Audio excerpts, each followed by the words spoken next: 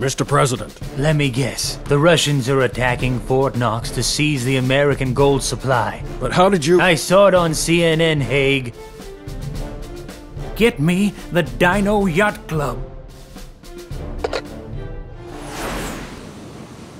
What could be more relaxing than Mozart's Serenade number 13 in G major? Mm-hmm. Right as always, Countess. Chopin's Opus 10 number 3 in E major is a wonderful selection. I always loved Hall of the Mountain King by Grieg in C minor. Have a listen. My trained ear tells me this piece is not being played by breathy woodwinds. This piece is being played by a kazoo. And it's quite lovely, right? Mm-hmm. She adequately stated that her eardrums are on the verge of an uprising. Oh, buttercrumbs! Curse my untrained ears! It seems as if the Russian rabbits have gotten into our proverbial briar patch. Best we relieve them of their carrots. Why don't we just get the gold back?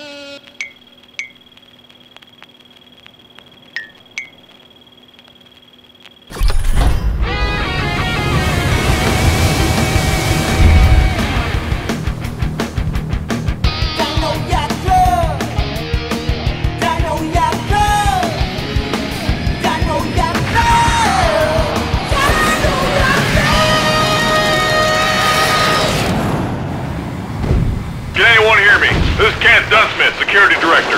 Get my Russian sons. Ah!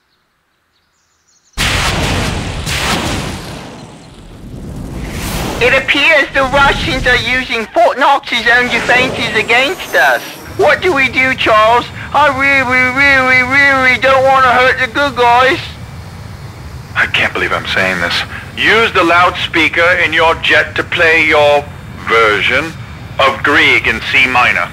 Dunsmith, if you can hear me, get your men to plug their ears now. Roger, who are you guys anyway? Why, we are the Dino Yacht. Oh, just some friendly chaps from the RAF.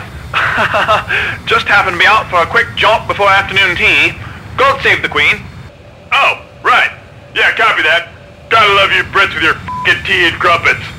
Play that wretched kazoo record.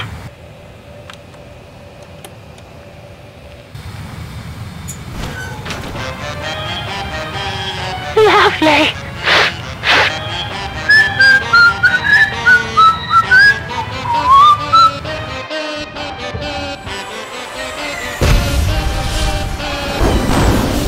Did we break through the sound barrier?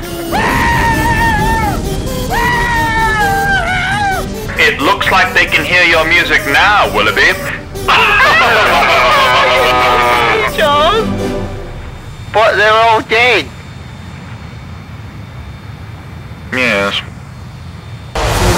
Dino Yacht Club. The only sound you'll hear is the snapping of your prehistoric and probably valuable bones.